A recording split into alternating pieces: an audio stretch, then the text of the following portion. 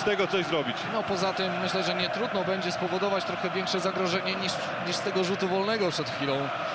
E, Powiedziałem ty, tylko, ale ale to słowo powinno e, zostać wykreślone z poprzedniego e, zdania. Machaj, uwaga! I zagotowało się w polu karnym gol!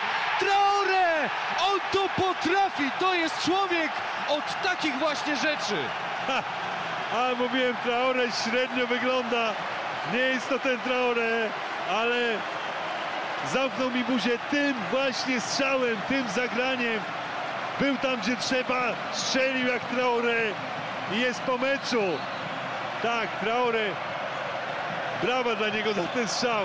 Abdurazak Traore, trzeci jego gol w tym sezonie ze wszystkich siedmiu, które Lechia ma na koncie. W dodatku gol wspaniałej, ujmującej urody.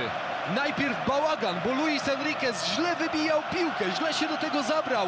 Nie podniósł jej Panamczyk. O właśnie, jeden kontakt, potem zdezorientowany Ubi Parib.